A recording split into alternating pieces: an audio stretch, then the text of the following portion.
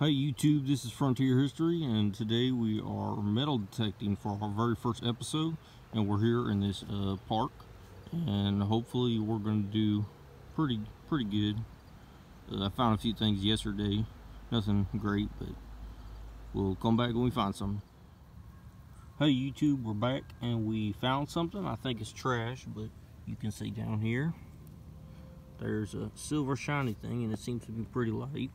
So we'll see if we can take this one out. I think that's trash. Oh yeah, there we go.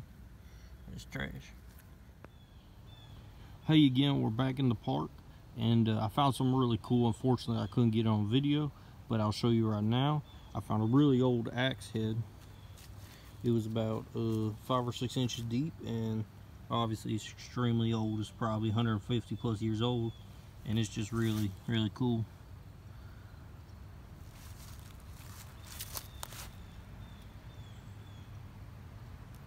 What an awesome find so I'll see you guys next time.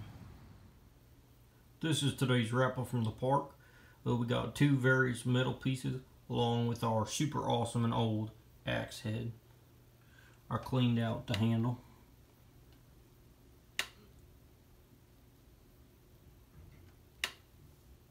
super cool, super old.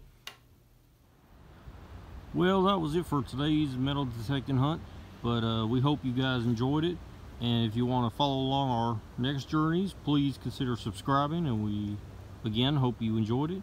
And we hope you have a nice day. Thank you for watching.